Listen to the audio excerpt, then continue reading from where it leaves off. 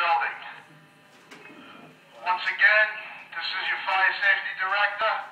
Someone inadvertently pulled the pull station. Everything is okay.